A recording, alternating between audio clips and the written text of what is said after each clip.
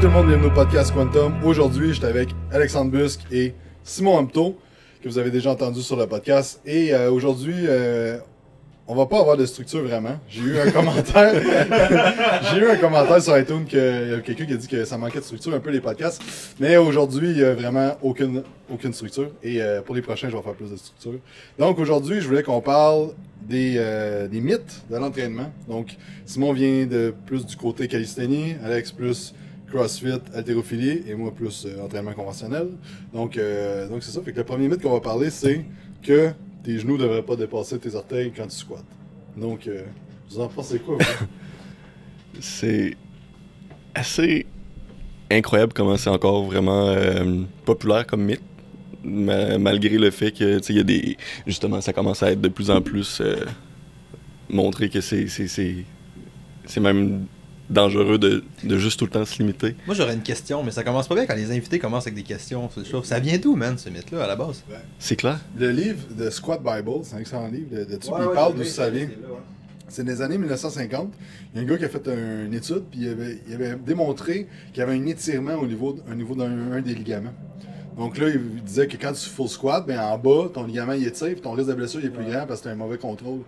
Mais dix ans plus tard, l'étude a été refaite. Ils se sont rendus compte qu'il y avait tort. Que c'était pas, dans le fond, ils n'ont pas vu qu'il y avait Ah! aucun étirement. C'est comme l'étude sur la viande, genre. C'est comme l'étude qui a fait le truc disant que la viande était mauvaise pour la santé, tout. Après ça, ils l'ont fait, puis son truc, c'était pas ça, genre. Ouais, c'est ça. c'est exact. genre- Ok, c'est de là que ça vient. Mais c'est ça qu'ils disent dans ce livre-là, mais il y a sûrement d'autres euh, d'autres facteurs d'où ça vient. Puis, Tu sais, c'est sûr que moi je pense beaucoup que tu sais, c'est dur apprendre quelqu'un à faire un full squat. Tu sais, donc, Ça dépend y a de monde qui sont jamais capable de le faire, là. ça, mais ça Ouais. demande beaucoup de travail en tant que coach. Donc peut-être qu'il y a certains coachs qui ont juste dit bah laissez c'est moins compliqué. puis, Ouais. euh, Mais tu sais, ça, ça c'est un autre débat qui est vraiment intéressant aussi. C'est l'idée de. Au-delà de. On s'entend, tu sais, pour, pour ramener à la question initiale, tu sais, est-ce que tu devrais. Tes genoux devraient dépasser, je veux dire, on pourrait débattre que les haltérophiles sont les meilleurs squatteurs au monde, puis les genoux dépassent constamment, tu sais. Fait que cette question-là est comme. C'est un, peu, c'est un peu une métaphore de marde, tu sais. Mais au-delà de ça, ce qui est, quasi- qui est, qui est vraiment important, c'est le pourquoi tu ferais squatter ton monde à 90. Ça, je pense que c'est vraiment intéressant, tu sais. Puis venant du monde de l'haltéro, on considère pas un squat comme étant complet si c'est pas si c'est pas un Instagrass mais tu sais c'est aussi cave que tout le monde squat à 90 ça ramène à une thématique que tout avec qui sont les mythes de l'entraînement tu sais ça je trouvais ça vraiment nice comment tu l'amènes tu sais au-delà de d'où vient le mythe est-ce que tout le monde devrait squatter Instagrass ouais. ça c'est hot je pense là En fait, moi je, je crois fortement que tu devrais descendre à Grass tant que tu as du contrôle musculaire. exact ouais Donc, il y a du monde que, comme Mathieu, par exemple, il y a vraiment, Mathieu, pour ceux qui ne voient pas la vidéo, Mathieu qui est le vidéographe, il y a- vraiment un gros, gros squat deep, puis il peut- vraiment aller bas. Mais quand je dis contracter ses quads, il relève de peut-être un pouce. Donc, il y a comme un pouce de mouvement à la fin qui perd le contrôle musculaire. Donc, tu sais, d'aller à Grass, oui, mais non. Tu sais, ça dépend du monde. Mais ça ramène à une question qui est encore plus importante, c'est le fucking pourquoi tu le fais. Parce que tu sais, on peut, on peut tomber dans une- un débat de comment never ending si le pourquoi est pas justifié. Il n'y a, y a- y a- y a aucun contexte, tu sais, c'est ça. Je veux dire, dans un contexte d'altéro où est-ce que chaque centimètre d'élévation de bord, c'est le plus dur du mouvement, tu sais. Si t'es capable de skipper ça et aller la chercher à grass, c'est le sport, tu sais. Dans un contexte d'un gars qui veut développer ses quads, nobody gives a shit, bro. tu sais. Tout le monde s'en fout, là, tu sais. C'est ça qui est intéressant quand ce que t'amènes, je pense, là. C'est tellement drôle de où ce que c'est parti. Tu sais, juste dans la vie de tous les jours, juste se lever d'une chaise, nos genoux dépassent les orteils. Tu sais, dans les mouvements Ouais. comme monter des marches, tu, tu- tu le fais de nature. Là. Puis sais, en plus, c'est que juste, euh, c'est quoi que j'avais vu aussi justement que le, le vaste interne, il vient justement être recruté quand tu arrives vraiment plus bas, quand le, le genou, c'est ça, juste en bas. Fait que tu sais, si tu descends jamais bas, tu viens jamais le- finalement le. Puis c'est c'est un, c'est un muscle full important pour aussi pour les, les genoux justement, là. justement pour protéger ton genou. Fait que c'est vraiment ironique. Un peu une autre chose, c'est que quand tu fais un split squat, ton genou arrière, il dépasse ton, ta jambe arrière. Ouais, vraiment. Ouais, c'est ça. Oh, ouais. Fait que là, tu loads en plus. Mais là, ça, il n'y a pas de trouble, par exemple. tu sais. Elle- Fait que, euh, Je me rappelle la première fois que j'ai montré un 6-6 squat à quelqu'un. Il était comme, c'est juste pour, pour vous dire, un 6-6 squat, là, que c'est c'est comme si tu montes à la pointe des pieds puis que tes genoux dépassent, mais vraiment beaucoup les orteils. J'ai juste montré ça puis j'étais comme un suppôt de Satan. là. J'étais genre dans un cours puis j'ai- comme vu juste du monde faire Oh, ok. Oh, tu veux vraiment que détruire mes genoux, les exploser. Puis j'étais comme bon, ça va pas être aujourd'hui qu'on va le travailler. c'est Ouais, ok. Mais c'est incroyable. Mais tout est sous forme de progression. Tu sais, Si t'as jamais Ouais. squatté, après ça, d'aller Ouais. squatter à Stugrass, puis exemple, t'es- t'es 80 livres overweight, là, euh, ça se peut que ça soit trop de, de- de tension musculaire qui va être mise sur tes. De tension pas musculaire, mais tension au niveau des articulations. Mais tu sais, c'est peut-être juste moi qui arrête pas de sortir du sujet aussi, mais ça ramène tellement à ça, man. Ça ramène à le. On est tellement occupé à se demander fucking qu'est-ce que tu fais ou comment tu le fais qu'il n'y a pas de pourquoi ou de comment tu le fais. Ou, ça, ramène au contexte, man. Là. Alright, parfait. Est-ce que la réponse pour un haltérophile chinois de 77 kilos qui fait de l'haltéro depuis 20 ans est la même que pour, monsieur, madame courant? Tu donnes une réponse sans voir le contexte de la réponse, tu sais. Ça marche pas, là. Je pense, là. Ouais, exact. Sais, si tu veux faire un squat pour développer plus tes fessiers, mais ça va peut-être être idéal d'arrêter à 90 degrés et de pousser Ouais. tes hanches vers l'arrière, tu sais. Tu sais, c'est ça? Fait que c'est tout dans le contexte, comme tu dis. là. Ouais, c'est vraiment- Tu te demandes, c'est moi ce que j'enseigne dans mes cours, c'est ton pourquoi annuel, ton objectif prendre la masse. T'as un pourquoi annuel. Ben ouais, ben tu te demandes, tu sais, c'est Je quoi sais mon- pas c'est quoi le pourquoi annuel. Ben, ton objectif annuel. Quand tu t'entraînes Ok, là, ok, pendant ok. un an, là, Ouais. tu sais, quel est ton objectif? Dans un an, tu veux et tout. Là, tu sais? Ok, je veux gagner 20 livres de masse. Ok, puis là, on a notre pourquoi annuel, mais après ça, tu as ton pourquoi de macro-cycle. Fait que, tu sais, ça peut être un de force, un de hypertrophie, un de fat loss, whatever. Puis après ça, ça va dans ta séance, dans ton mois d'entraînement, dans ta séance d'entraînement, dans chaque exercice, puis dans chaque rep, puis dans chaque tempo, puis dans chaque ça? répétition, puis tout. Mais tu sais, c'est encore, c'est ça, c'est malade ça là, là. C'est encore la même fucking idée. C'est dans quel contexte est-ce que tu fais, ça s'inscrit, tu sais? Ça se peut, ça qu'à donné, ton gars il fasse un squat à 90, puis que dans le cycle où est-ce que t'es, où est-ce que tu veux renforcer la demi-portion du mouvement, whatever, c'est bien correct, tu sais. Puis c'est ça que tu dis que t'amènes qui est vraiment nice là. T'as ton contexte, t'as genre, on est sur un an. On est sur un an, puis là, on fait ça pour une raison plus grande, tu sais. Ça, je trouve ça vraiment malade, moi, là. C'est- vrai que quand j'ai commencé justement la, la tu sais, la calisthénie, une des lacunes, c'est c'est l'en- c'est l'entraînement du bas du corps. Les, les jambes, c'est limité. Il n'y a rien qui bat un squat, un deadlift, tout ça. Mais quand j'ai commencé la calisthénie, c'est là que je me suis rendu compte que ma mobilité était importante parce qu'un des facteurs pour justement gagner de la force puis du muscle, c'est l'amplitude de mouvement. Si on n'a pas, si je suis pas capable de descendre jusqu'en bas, ben il manque quand même un- une grosse amplitude qui pourrait me permettre de venir gagner plus de justement de force puis de, de... fait que là j'ai vraiment travaillé sur l'amplitude pour pouvoir gagner aussi de la mobilité au niveau des chevilles, pour pouvoir descendre encore plus bas, les hanches, tout. Parce que c'est- quoi que je pouvais gagner pour justement venir en profiter puis gagner plus de... Fais des fucking Nordic arm curl, par exemple, comme exercice. Ah oui, de- ça, man, vais progresser toute ça. ma vie Ah, avec ça, ouais. J'ai découvert une nouvelle progression que tu vas mettre tes bras en Y pour ajouter un levier. Ben, c'est Ah, t'as besoin d'ajouter un levier là-dessus, c'est man. Tellement qui intense. à chaque fois. Chaque fois que je fais ça, je suis craqué pendant une semaine. Ouais. Legit.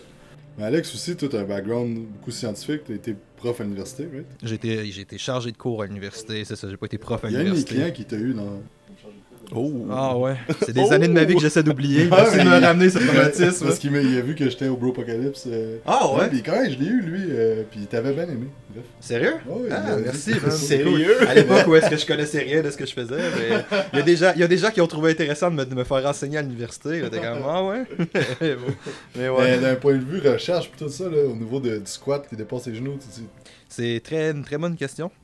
Euh, en fait, c'est vraiment totalement hors de mon expertise, sérieusement. Je vais répondre la traditionnelle du scientifique. Mais moi, je viens vraiment du domaine de la santé publique. J'ai fait ma maîtrise en santé publique. Mon doctorat, ça s'appelait sciences biomédicales, mais ça veut rien dire. C'est vraiment en santé publique aussi.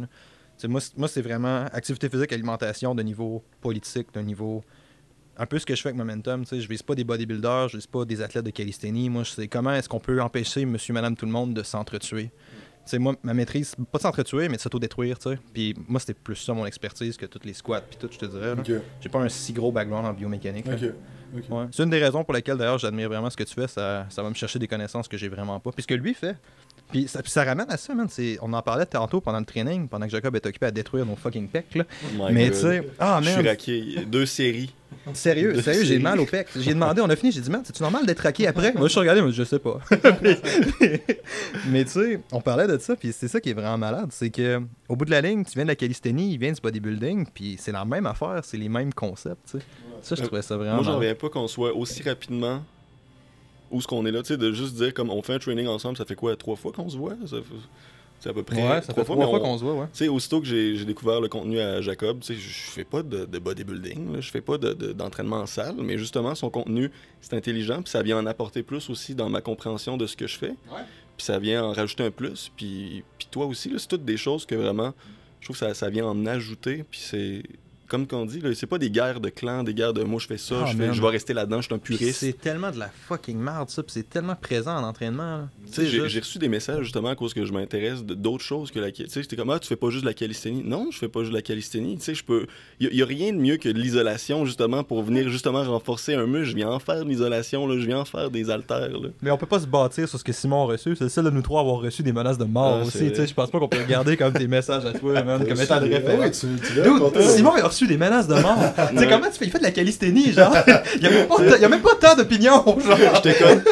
Le gars juste comme écrit meurt. J'étais comme, oh, ça a escaladé très rapidement. sais. Raconte Meurs, ça, raconte ça. Raconte ça. Mais c'est à cause que hey, ça c'est arrivé à un moment où ce que tu sais justement je lançais tout mon euh, je lançais plein de choses en ligne euh, tu sais un moment qui est gros dans, dans ton dans ton cheminement euh, professionnel puis On j'étais parle de ta bar mitzvah en ce moment. genre. puis là, là, je lançais ça puis là j'étais comme OK je suis rendu au bout tu sais je me lance j'y vais puis là t'as le syndrome de l'imposteur un petit peu qui revient j'étais comme ben non c'est correct ça, ça va bien puis le lendemain je me lève je reçois un message je me tu sais jamais je vais regarder mon sel en me levant j'étais là ah j'ai lancé ça peut-être que je vais avoir des messages positifs tu sais Premier message que je lis, ma blonde est encore couchée. Je regarde ça, le gars il est comme Salut, euh, first, tu viens d'inventer un sport. Euh, deuxièmement, euh, tu devrais avoir honte d'essayer de faire de l'argent avec ça. Euh, troisièmement, euh, t'as aucun mérite. Puis à la fin, ça finissait par meurs. Puis là, j'étais comme Meurs? Je lisais ça? Là, c'est comme Meurs Oh Puis là, j'ai commencé à écrire un message. Puis j'avais écrit un, un bon petit message. Puis j'avais juste comme commencé à mettre un lien Wikipédia avec calisthénie parce que ça existe. J'avais écrit un message, puis euh, finalement, ma blonde, elle se lève, puis elle fait Ça sert à rien, tu fais ça. là. Le gars, là, il- ça va être un, un débat sans fin. Puis lui, il voulait que j'envoie Ah oui, je suis la calisthénie, ok. Mais non, mais c'est ça. C'est moi qui devrais répondre à tes messages de haine, man. Simon, il a ça une affaire, il m'envoie ça. Ma réaction, ça avait été. Qu'est-ce que le gars il avait dit? Le gars, il avait dit, genre, pour qui tu te prends, quelque chose comme ça. C'est ça. T'es-tu la calisthénie Moi, j'avais. Dude, comment oses-tu me parler comme ça tu sais? Je suis la calisthénie. Puis après ça, tu disparais sur la chanson Wind of Change de Scorpion. Mais c'est fou ça parce que. C'est fou, tu sais, tu te dis. T'as bien fait de pas répondre parce que le gars, là. Non, puis le gars, là, il était peut-être frustré par- pour 56 000 choses dans sa vie, là. Ça a sorti sur toi, tu sais. Mais j'ai su, ben après, tu sais, j'ai- j'ai investigué. tu sais, ça n'a pas fini là, là. Tu sais, toujours le, le pourquoi qui veut, il me souhaite la- ma mort, tu sais. Puis là, j'ai été voir sa page Instagram, puis euh, après, j'ai vu, tu sais, on a le même niveau. Même niveau dans, dans les, les mouvements, on est vraiment au même endroit, sauf que chaque post qu'il écrivait, c'était comme Ah, je suis une merde. Ah, ouais, je l'ai réussi, mais ah, je suis pas bon encore. Je, je vais attendre d'être meilleur. Il se dénigrait tellement lui-même que j'ai fait, ben, il s'accepte même pas ce qui est rendu. Il pourrait se valoriser, puis il pourrait justement offrir ses services. Il est bon, là, le gars. Il est même meilleur que moi aussi. Je voyais des mouvements, j'étais là, waouh, il est rendu là. Mais il se dénigrait tellement. J'étais là, bon, ben, j'ai compris pourquoi. Il a vu que j'ai réussi à me mettre de l'avant parce que je, j'offre mes, mes, mes, connaissances. Puis lui, ben, il était juste fru. Mais qu'est-ce que. Qu'est-ce que tu te dis à tous les jours va devenir qu'est-ce que tu deviens. Ouais, Fait que le ouais. gars, là, il s'auto-sabote, la journée longue. Surtout flagelle. Tu sais, C'est fou, là. Mais tu sais, t'imagines, il fait ça sur Instagram. Il va faire ça dans sa vie. Ah, là? dude, ça doit être Sa vie, sa vie de couple, sa vie dans Ah tout, ouais. là. Puis là, c'est le genre de gars qui est comme ah, pourquoi je suis malchanceux, pourquoi que de la merde qui m'arrive dans la vie? Ouais, mais Chris, euh, tu veux juste penser à ça la journée longue, euh, qu'est-ce que tu penses qu'il va t'arriver? Mais il y, a une- histoire, je pense que je l'ai déjà conté quelque part. J'ai une histoire qu'un gars, à un moment donné, il m'écrit Je mets une transformation trois mois d'un client. Ah, tu me l'avais dit, ouais. Pas, euh, pas un- une grosse transformation, mais une, quand même une bonne transformation. Puis je suis content parce que le gars, Ah. tu sais, on était en surplus calorique, il a perdu du gras, il a pris de la masse, il a pas rushé, on n'a pas fait une grosse diète intense, tu sais. Ouais, c'est ça. Puis il était vraiment constant dans ses affaires, puis il avait pas eu de résultats depuis des années. Puis là, il y avait des résultats, j'étais vraiment fier de lui. Puis je mets la photo, trois mois, blablabla. Il y a tout le monde, Hey, bravo, bravo. Puis un gars, il écrit Aïe, il change de coach, trois mois, qu'est-ce que c'est ça?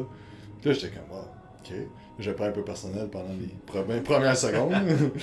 mais là, fait que là, je l'ai écrit de quoi, mais là, je vais voir son profil. Puis le gars, son post de la veille, c'était genre, lâche-moi, maudit cancer. Ouais.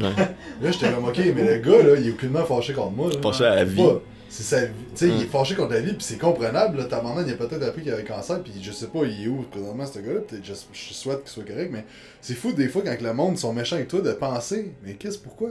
Parce qu'il y a personne qui veut être méchant avec personne. là. Il y a personne qui te veut du mal réellement. Il y a tout le temps une raison qui, pourquoi qu'il qu'il shoot ça sur toi. tu sais. Fait que des fois, faut. Quand il arrive de quelqu'un qui t'attaque personnellement même, c'est de demander sur tous ses réseaux sociaux. Surtout si c'est acharné. Tu sais, quand c'est pas une fois, mais c'est à répétition. Comme lui aussi, il m'a suivi sur Instagram, puis il m'a fait la même chose. Là, je l'avais bloqué sur Facebook. Il a embarqué des amis là-dedans. Il y avait un autre de ses amis que j'avais envoyé la réponse à Alex. Le gars, il m'avait Ah, c'était écrit. lui, sérieusement? Ouais, c'était un, c'était un autre de ses amis. Il avait embarqué un de ses amis. Tu sais, faut-tu que t'in- Imagine le temps qu'il investit là-dedans. Il pourrait l'investir pour monter son estime de soi. Tu sais. Il pourrait travailler sur lui. À la fin, j'étais juste rendu. Hey, le temps que t'as pris là, pour m'envoyer chier puis souhaiter ma mort, là,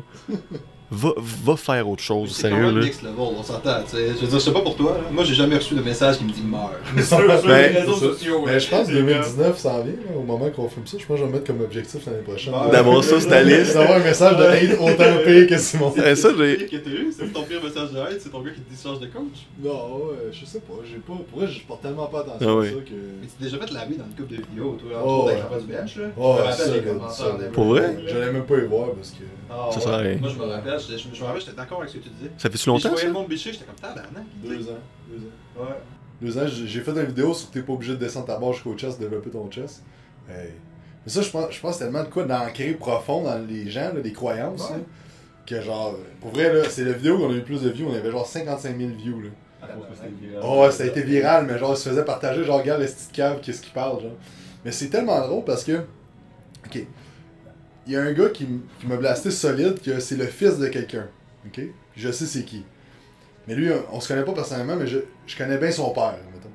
Et là, je m'en vais donner une conférence, peut-être six mois après, au gym de son père. Puis là, son père il est là, puis genre, je sais qu'il a parlé contre moi, puis au moment que je parle du bench, Là, je regarde, puis je dis exactement ce que je dis dans la vidéo, puis j'explique, j'explique pourquoi. Puis à la fin, il vient me voir, puis il était comme, hey, c'était bon ta conférence, puis tout. J'étais comme, hey, yeah, man. Parce que l'affaire, c'est que dans la vidéo, il y avait tellement pas de contexte. Tu sais, j'ai une minute pour expliquer un concept que je pourrais parler pendant une journée. Donc là, ça avait fait le chiard, tout. Mais bref. euh, mais. Moi, t'as dit quelque chose que je trouve vraiment malade, qui je pense vaut la peine d'être revu. Mettre en gras. Mettre en gras? Tu mets ça en gras, genre, italique, tout. Mais tu sais, c'est ça, c'est comme les croyances que le monde se dit en entraînement. Il y a des choses qui sont. Puis le problème est vraiment plus profond, je pense, en arrière de ça. Tu sais, c'est comme l'idée que faut que tu descendes au chess à Mhm. 90, ça te fait. T'es tellement ancré dans une réalité très précise que tu vois comme étant la seule voie que tu nuis tellement à ton progrès, tu sais. Mhm. C'est comme, t'es tellement centré dans une fucking direction que tu oublies tout ce qui pourrait bénéficier de ce que tu fais, tu sais. Tu sais, puis c'est un peu ça qu'on disait tantôt, c'était ça la thématique, tu sais. J'ai un haltérophile, j'ai à peu près aucune contraction de mon chest, puis ça m'a montré plein de faiblesses au niveau de mon extension thoracique, qui elle est vraiment importante en haltéro, Mhm. tu sais. Fait qu'au bout de la ligne, cette fermeture d'esprit-là, c'est un énorme problème, tu sais, je pense. Ouais, là. tu te mets des bâtons dans les roues. C'est des solides bâtons dans les roues, là. Ouais. C'est souvent, c'est- puis c'est ironiquement, c'est ces affaires-là qui te limitent tout le temps, tu sais. Mhm. C'est des trucs que t'es tellement convaincu que tu l'es, que tu Mhm. que t'as raison, tu sais. Ouais, mais c'est comme la courbe d'apprentissage, tu sais, qu'on on voit sur Internet. Là, tu sais, au début, t'es comme, hey, je connais ça en esthétique, l'entraînement. T'as fait un an, t'es trainer, là, t'as fait des formations, t'es un an, t'es à l'université, là. Moi, puis là, là, première année d'université, j'étais hot. là. C'était la révélation des kin. C'est tout, tout ce qui est mal avec la profession de kin, puis je me fais souvent haïr par les kin parce que je bitch quand même beaucoup les kin. là. Mais tu sais, ironiquement, mais tu sais, tout ce qui a de mal avec la profession de kin, j'étais ça, ok?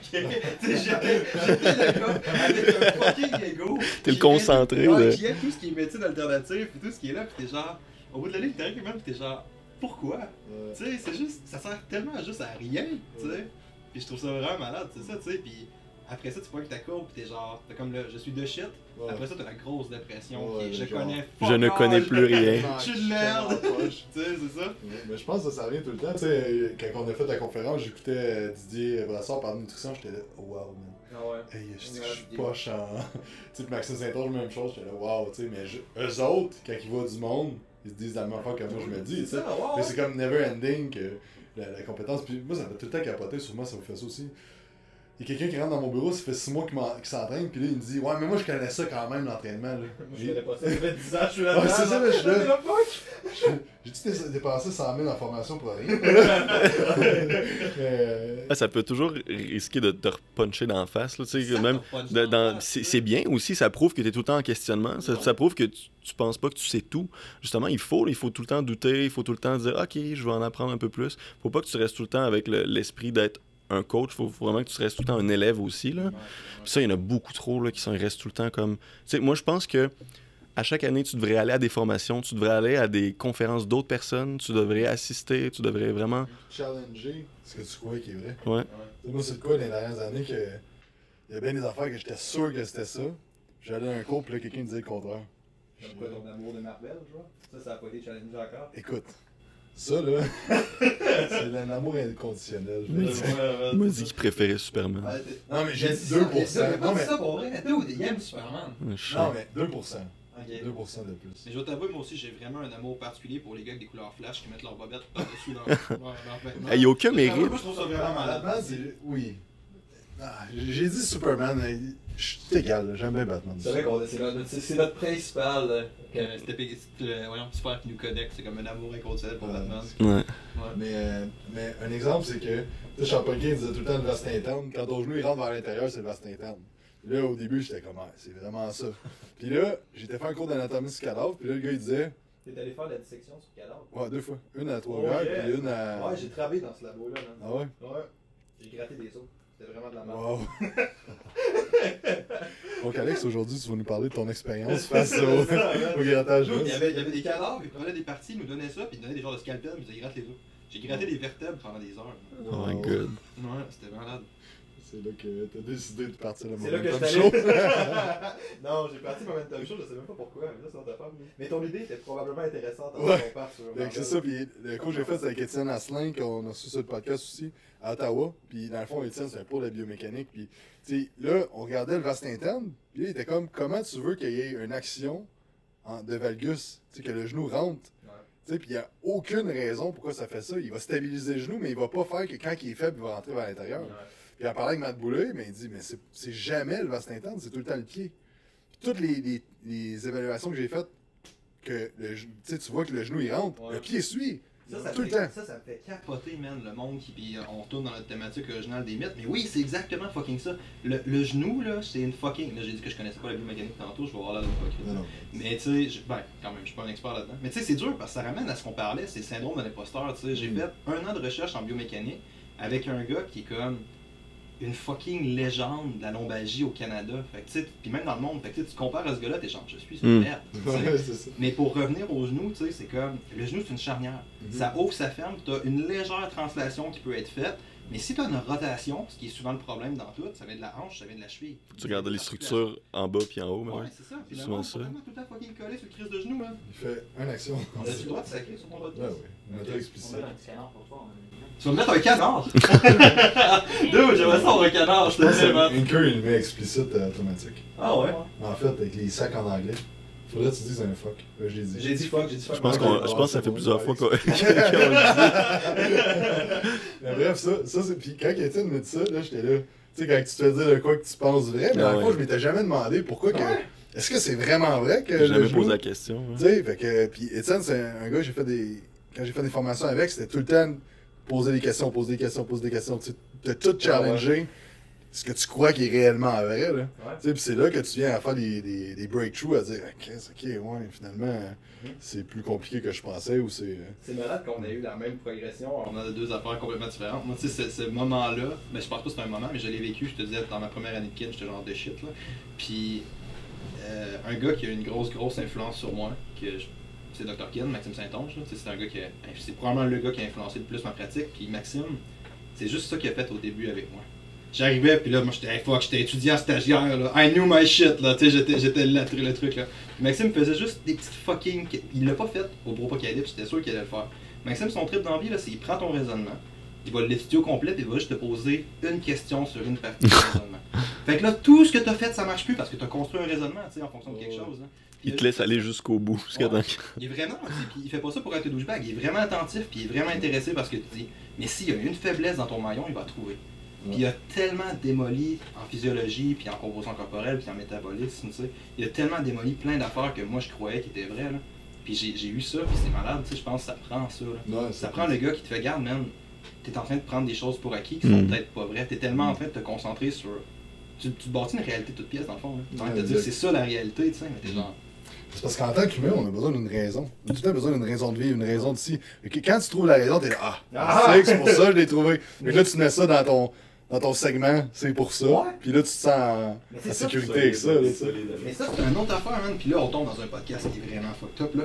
Mais tu sais, il y a beaucoup de monde, l'entraînement pour eux, là. Puis même, je pense, je pense plus en alimentation, peut-être l'entraînement, mais définitivement en alimentation.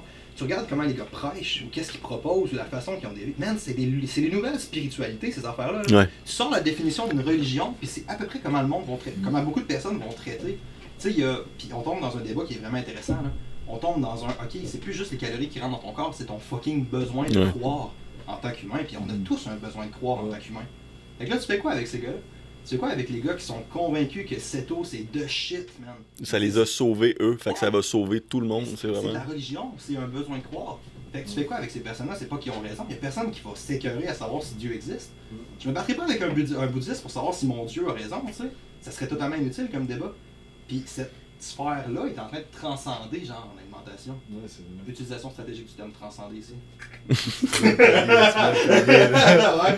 ouais c'est tellement ça, là, tu sais, que qu'est-ce qui est keto, qu'est-ce qui est high carb, low carb, mais c'est- c'est c'est fou. Mais, L'expérience personnelle. Tu sais que c'est vraiment. Ouais. Fait que c'est- ça devrait être ça. Euh, Guillaume Boucher, il a écrit un post l'autre jour sur, sur que. C'est-tu lui? Bref, c'est quelqu'un qui. Il parlait des diètes high carb, low carb, les incidences, puis tu sais que dans le fond, je pense que ça, ça disait qu'il n'y avait pas trop de différence, puis tout ça, puis il y a une fille qui était comme Ah non, c'est un post de Vincent Comtois, c'est ça. Puis là, Vincent, il a fait un post sur je me souviens plus quel sujet. La fille a dit Ouais, mais moi j'ai fait le contraire, puis ça a marché. Il est comme Ok, mais c'est cool. Puis là, là il s'estinait, puis il a dit C'est quoi tes sources? C'est quelle étude que tu as faite pour ça? Puis elle a dit, ben j'ai juste fait ton cours alimentation 1. fait dans le fond, il est en train de dire que le seul cours qu'elle avait fait, c'était celui que Vincent enseignait. Ouais. Premièrement, puis après ça, il était comme, ok, mais c'est quoi tes sources, c'est quoi tes raisonnements? Mais elle dit, mon expérience personnelle. là, Vincent était comme, j'ai t'envoyé à peu près 40 études. Tu peux pas me dire, ouais, mais moi, c'est mon expérience personnelle, tu sais. Parce que, Puis, puis encore là, tu sais, ça ramène à. ah, man, la conversation est vraiment en train de devenir up. Mais tu sais, ça, ça ramène à comment on s'est construit une réalité de toute pièce, tu sais, comment t'es tellement occupé, puis c'est, c'est, la- c'est une religion rendu là. Puis en tant que scientifique qui a regardé. Je suis pas un scientifique, je sais ça.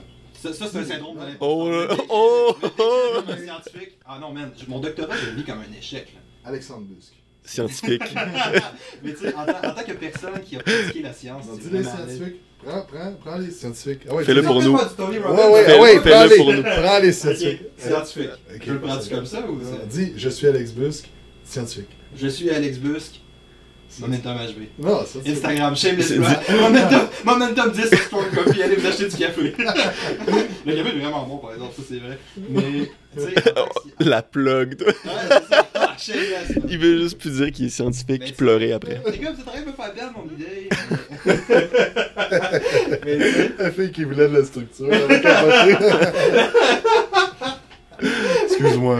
non, c'est bien correct. Alexandre Bus, non scientifique. Mais tu sais, euh, il y a tout le temps des fucking variations individuelles dans toutes les études. Fait que tu sais, j'ai fait, une étude que j'adore énormément qui est sur le cardio, mettons, qui est une perte de gras qui a été instaurée uniquement par le cardio. Ce qui ce que beaucoup de coachs considéraient comme un, calvaire puis un chaos, tu sais, c'est un péché en entraînement, tu sais. Puis eux, ce qu'ils ont fait, c'est des variations individuelles, puis ils ont classé le monde selon compensateur puis non compensateur. Fait que tu sais, il y a du monde que tu fais un déficit énergétique juste avec le cardio, tu stabilises leur alimentation, puis c'est un déficit super léger. C'est pas assez pour dire que le monde est fou, là, c'est genre un 15-20 minutes de cardio. Puis ils comptent leur déficit, tout, ils arrivent à la fin. T'as des gens que ce déficit-là, le 200 calories, ça va leur faire rentrer des milliers de calories. T'as des gens qui prennent 10-15 livres sur un protocole de cardio comme ça, même si d'un point de vue purement physiologique, ça devrait rien changer. T'as tout le temps des variations individuelles. Fait que si toi t'arrives avec une méthode quelconque et tu te dis Ah man, ce protocole-là c'est le meilleur pour perdre du gras, dis ça à personne qui a fucking pris 25 livres, tu sais. puis, puis ça se peut que cette personne-là, ça soit Ah moi ça a marché, moi ça me tant mieux pour toi, man. Mais en tant que société, on se positionne sur quoi? Sur des expériences individuelles, sur des variations individuelles, ou on se positionne sur qu'est-ce Ouais. qui marche pour la majorité des gens. Exact. On peut être bien occupé à bicher le système de santé, il reste que pour la majorité des gens, ça marche. Hmm. À cette heure, le problème, c'est que si dans le 30% que ça marche pas, ben fuck off, tu manges un char. Mhm. mais, mais le fait reste que d'un point de vue sociétal, d'un point de vue populationnel, le système marche pour une grande majorité des gens. Le système d'éducation n'est pas parfait, ça reste une alternative qui est quand même intéressante. Mhm. Fait qu'on tombe dans une autre discussion qui est l'individuel versus le collectif, ou d'un point de vue plus grand. Puis c'est super important, l'expérimentation. Mon dieu de merde, tu sais, je pense que c'est un, un des éléments qu'on est tout le temps en train de prêcher. Là. Faut que tu l'essayes, bro. là. Mhm. Tu sais, tantôt, je n'étais pas capable de positionner mon bras pour faire un, un fly, puis je le sentais pas. Je t'ai dit, man, pourquoi je le sens de même? Je sais pas, c'est toi, là. Puis c'est important de savoir ces détails-là. Là. Parce que si tu restes collé sur comment le faire en théorie, Non, c'est tu ça. n'auras jamais de résultat, tu sais. C'est ça. tu sais, Comme ton bras plus bas, théoriquement, ça recrute plus toutes les fibres du pec. Ouais. Tu sentais pas. Non. Un pouce plus haut, tu le sens. Hein, Fais-le là. sacrément, fais-le là, tu sais, on s'en fout. là. Ouais. Mais aussi, l'affaire, c'est que, sais, la personne, ça croyait dur comme faire que le low carb, ça allait marcher. Elle est tel- tellement convaincue que l'effet placebo fait en sorte qu'elle va le tenir, sa diète. Fait que là, dans le fond, elle va rester en déficit calorique puis avoir des résultats parce qu'elle est capable de le tenir, sa diète, parce qu'elle est, est sûre et certain que ça va marcher. Tu sais, comme le keto, là, on s'entend, 5% du monde qui font du keto font vraiment du keto. là. Ouais. Donc, mais eux sont tellement sûrs que ça va les aider à, faire, à perdre du gras, ça va les aider à se mettre en santé, tout ça, qu'ils suivent. Ça les drive. Ça les drive puis ils suivent. L'effet placebo, là, tu sais, c'est ultra fort. Là. Il y a Dr. Joe Dispenza, je pense. Dispenza, ouais. Dispenza, Ouais. il écrit le placebo effect. là. Il y a un livre juste sur le placebo, à quel point que. Tu sais, c'est fort, là, tu sais. hein. Fait que. Au bout de la ligne, en tant que coach, c'est juste ça que tu veux. Tu veux juste un résultat individuel, tu veux pas un résultat populationnel. Tu t'en fous d'avoir trouvé la fucking salvation et la fucking pierre philosophale. Tu veux amener des résultats à ton client. Fait que si Seto, c'est l'approche qui marche pour lui, ok, on s'entend là. Puis ça, c'est. On parlait de haine tantôt, là. Ça, c'est une source de haine que moi j'ai vue, là. Fucking Keto Québec, man. là. Le monde là-dessus, c'est des religions. Ah, c'est méchant, c'est méchant là-dedans. Hey, ils sont intenses, les tabarnak, mais. euh, ah, d'où? Non, Hey. c'est- Ok, non, on peut pas dire ça. Eh oui. Tu vas, hey, tu vas avoir des menaces de mort comme Ah, moi et non, tu ils veux, sont- hey, tu veux ta résolution tabarnak, Au 2019. Québec, man, sérieux. On coupe rien ici, là. Ok. Moi puis d'autres personnes que je veux pas impliquer avec moi, on est undercover sur Keto Québec, juste pour regarder les posts, puis des fois, man, on s'envoie ça. Tu sais, t'as une fille à est genre, ah les gars, à chaque fois que je mets de la crème de coco, l'huile de coco, whatever, dans mon café, j'ai des fucking gros brûlements d'estomac, ça va vraiment pas bien, ma journée scrap. J'ai arrêté, dois-je recommencer? Tout le monde est oui! Ouais, ouais, ben oui, faut que tu prennes de l'huile de coco, c'est comme ça que ça marche, c'est tout, le man! ça te donne des hosties de brûlements d'estomac, tu sais. Puis il se passe des affaires là-dessus. D'arrêter le gym. Moi, c'est, Oh, wow. un post sur. Ça me faisait du bien d'aller justement bouger, mais là, le- le- la diète céto prend trop de place dans ma vie, puis justement, je- j'aimerais ça recommencer, mais est-ce que je devrais m'investir à 100% dans la diète au lieu, puis le monde sont comme, ben oui. Mais c'est comme, mais ça y fait du bien d'aller au gym, c'est Ah pas une religion, là, c'est Ah, pas, c'est, pas tout ou rien, là, c'est comme tu peux avoir un juste milieu aussi. tu sais, c'est ça, puis c'est ça. Moi, c'est un truc que je me suis fait ramasser, c'est le monde de Ceto, tu sais. Puis le monde des hormones, qui sont les deux principaux gens qui me détestent, les gens qui justifient tout par les hormones. là. Mais tu sais. Mais c'est pour ça que le monde prenne du poids. Ouais. Tu sais, dans le fond, c'est pas parce que 85% de la population au Québec mange trop de Non, calories. c'est C'est parce que 85% de la population a des problèmes d'hormones. Ouais, c'est- c'est clair, mais tu sais, ça, ce discours-là, sert à une chose très précise. Tu sais, quand t'arrives puis tu dis genre, alright, c'est un problème de glycémie, les gens qui pro- les gens qui ont prêché ce problème-là, c'est les gens qui ont des solutions potentielles, c'est les gens qui ont des conflits d'intérêt majeurs, bon, on sait avec ça, tu sais. Donc, C'est très pratique pour moi de dire que le problème de l'obésité, c'est le, c'est, c'est la glycémie, si j'ai un supplément pour diminuer ta glycémie. Puis c'est ces discours-là qui ont été accentués, je pense, mais, mais tout ça, ça décentralise de, de quelque chose que... L'idée avec Ceto, là, c'était pas de commencer à habituer Ceto, c'était juste de commencer à dire que, tu sais, Ceto est la diète low carb qui a la plus faible adhésion dans des études contrôlées. Tu les diètes low carb, en général, c'est un 50-60% de drop-out, ce qui est vraiment excellent. De, de, de maintien, excuse, de rétention. fait que si tu gardes 60% de ton monde, t'as fait une job acceptable, mettons. Ceto, c'est un 30, 20-30%. Ouf. 6 à 8 semaines. Mm. Fait que les gens qui sont réellement capables de maintenir cette taux plusieurs mois, ce qui devrait être ton objectif, on parle de quoi? 10, 15%, 5% Réalistiquement. Puis imagine pour la population, overall, c'est pas, c'est pas un Ouais. bon. Sais, c'est- la diète qui a le la diète low carb qui a le plus faible taux d'adhésion, c'est juste un fait, tu sais. À partir de là, si toi t'es dans le 5% qui est capable de maintenir la diète, Ouais. good job. That's it, man, la conversation arrête là, tu sais. Mais reste le fait que pour 95% du monde, c'est une solution qui est pas maintenable, tu sais. Mm. Ouais, parce qu'il faut arrêter de penser à court terme, penser à long terme. Tu sais, Ouais, tu vas pas être, tu vas pas être en. Ben, un autre mythe. C'est que penser à long terme. Non, mais c'est ça, tu sais, c'est que tu veux pas être en shape et en santé pendant trois mois. là. Tu veux être en shape et en santé le restant de ta vie. Mais tu sais, si t'es pas capable de tenir la diète que tu fais présentement, là, change de quoi, là? Puis tu sais, ça, ça ramène à ce qu'on disait tantôt, man. C'est tellement fucking important. Le monde sont tellement occupés à s'écœurer hostie sur les tabarnaks de principes. Le monde sont. C'est pas les principes, les méthodes. Les mondes sont genre, ok, low carb, ok, fucking Atkins, ok, fucking paléo. Mais au bout de la ligne, c'est la, la meilleure diète, c'est celle que tu maintiens, right? Exact. Fait que tu sais, on peut discuter de tous les bénéfices sur la satiété. Puis, puis Ceto, parce que je l'ai biché, Ceto a des, des bénéfices thérapeutiques Ouais. qui peuvent être. Ah ouais, t'as de quoi C'est sur pour l'épilepsie aussi, Sur l'épilepsie, il y a de quoi, mais sur la qualité de vie des gens qui sont en phase terminale, on peut aller chercher un 5 à 10% d'amélioration. Je m'en parce que ça varie, c'est encore préliminaire, mais tu sais, tu as des gains potentiels Mm. sur la qualité de vie en, en phase terminale. En d'autres mots, là, tu sais, la, la phase où tu souffres, là, quand tu es en train de mourir, on peut peut-être la rendre un peu moins pire. Là, t'es là, fuck man, c'est vraiment, vraiment intéressant, tu sais.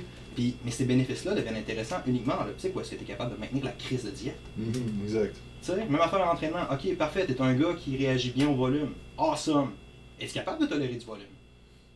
Ouais. Non, c'est une question. Ouais. capable de tolérer du volume? Moyennement, volume, moyennement. Ah ouais, toi t'es deux A, ouais. Ouais. Moi aussi j'étais deux A, c'est long. ouais. Moi j'ai été diagnostiqué par. euh, Christian Thibodeau en personne. mais 2A, 2B. je sais pas? Plus sur 2B, ça va dépendre. Mais quand je suis fatigué, je suis vraiment de la pompe. là. Ah ouais? Moi aussi, c'est- man. Je me suis rendu compte que c'est une affaire qui me fait vraiment du bien, ça. Juste une bonne. Tu sais, d'avoir été. L'altéro, puis même la calisthénie, je pense, Simon, là, c'est tellement violent, ces aussi d'articulation, man. Mm. Il a pas grand chose comme la body. Ah, les, les, je change beaucoup mes, mes phases. Là. Si je fais beaucoup d'intensité, là, euh, je le sens beaucoup. Là. Je- Je crois que t'avoir pogné la cuisse de façon un peu érotique. C'est correct, je te l'ai fait devant Radio-Canada à Bropocalypse. T'en veux-tu une histoire essaie de me pogner le cul devant Radio-Canada C'est une histoire. Lui, il rit. Il trouve ça- Chacun il trouve ça fucking drôle, genre. C'est mon moment de gloire. Tu vas pas m'interviewer? Euh, Mais tu sais, c'est ça. Puis le bodybuilding, c'est un avantage que ça qui est malade, là. Tu te sens bien après, là. Tu sais, t'es pas genre, ah, j'ai de la misère à marcher, mes genoux sont de crise, j'ai de la misère à me lever le matin. C'est genre, je suis raqué. Ouais, sais, ça a c'est un effet sur le bien-être qui est assez hot sur ça, Mhm. je pense. Ouais, mais tu sais, faut pas. Je, trou- je trouve qu'une erreur en bodybuilding, puis en juste prise de masse, c'est pas faire de la force, c'est pas faire d'endurance. De rester tout le temps dans le 8 à 12, mettons. que j'ai fait des ultramarathons, moi j'ai comme l'impression qu'on n'a pas la même définition d'endurance. Non, non, c'est ça, je veux dire 15-20 reps, là, tu sais, Ok, plus, ok, plus c'est de ça, reps. ouais. Ouais, c'est ça, tu sais, que, je- que je veux dire? Fait que, tu sais, ils font passer de 3 à 5, de 12 à 15, Ok, 15 ouais. à 20, là, tu sais. Je trouve que le monde reste trop dans une, dans une affaire. J'écoutais un, un truc avec euh, Cassie Manson ce matin, qui est un, un pro. Ouais. Tu sais, il disait justement, tu regardes ce que ton client a fait dans les deux dernières années. là. Il- S'il a juste fait du volume pendant deux ans, là, tu vas commencer sa première phase d'intensité. là. Si tu le volume pendant 3-4 mois, là, Ah. il va prendre 5 livres de, de masse euh, en deux mois, là, ça sera pas long. Tu sais, C'est juste euh, changer de stimuli. J'ai pris de la masse en faisant de de l'endurance juste parce que j'étais trop tout le temps dans de la force aussi. J'étais tellement tout le temps dans la force. J'ai commencé à faire de l'endurance dans le 15-20. puis J'ai pris beaucoup de masse musculaire là, juste parce que je- mon corps était tellement What- the fuck, ça fait comme 4 ans que tu me fais de l'intensité. ça ramène à autre chose qu'on a dit tantôt. Tu sais, ça ramène à quand tu es tellement occupé à rester dans tes croyances, Ouais. puis tes principes, puis ce que tu considères qui est important pour Toi, tu vas pas chercher toutes ces affaires-là, Mm. tu sais. Puis c'est vraiment cool ce que t'amènes. là. C'est de sortir de ce que tu. Tu sais, Ouais. justement, là, j'étais dans, dans ma petite routine de Ah, moi j'aime ça, faire euh, de quoi de short and sweet, puis de prendre 5 minutes de repos, puis de visualiser mon prochain mouvement.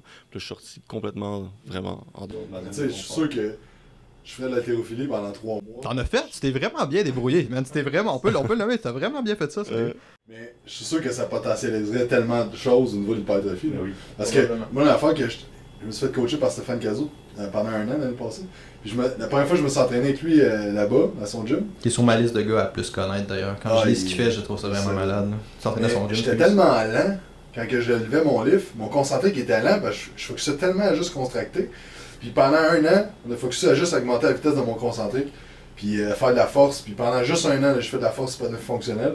Puis euh, j'ai monté au plus haut que j'ai jamais monté euh, de poids. là. Ouais. Mais là, ce qui arrive, c'est que j'étais comme trop de. J'étais pas de tolérer l'intensité pendant si longtemps, fait que là, je cassais aux trois mois à peu près, je me faisais mal. là.